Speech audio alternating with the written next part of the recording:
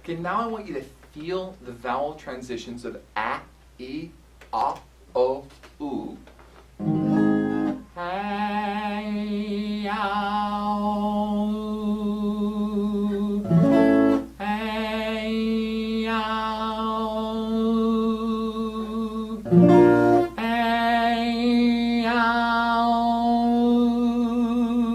Don't oversing. Hey,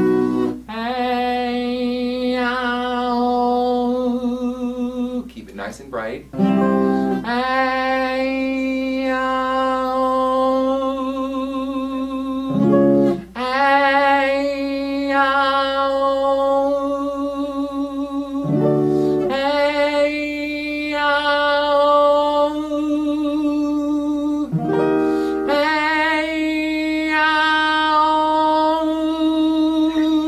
-hmm. you.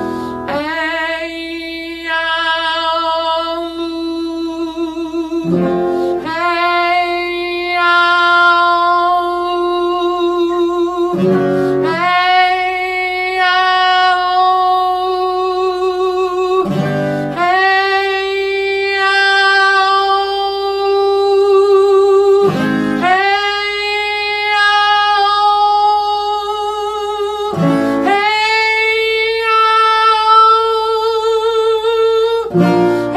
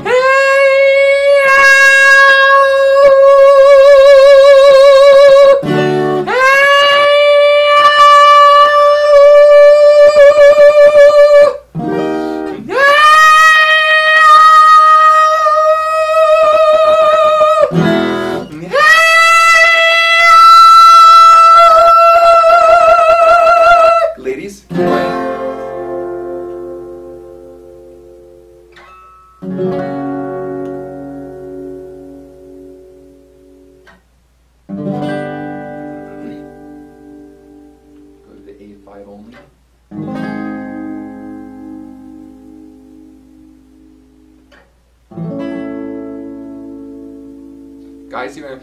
Ah! If you want to do that up that high, you're welcome to.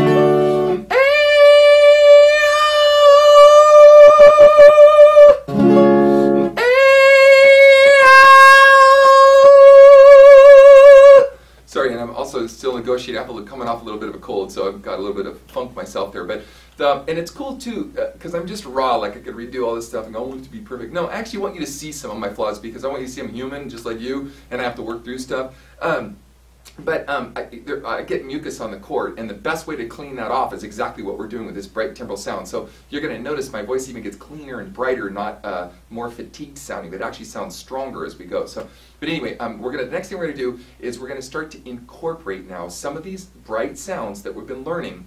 But before we get to the actual application of this, I want to show you how to get in and out now of your chest and head voice.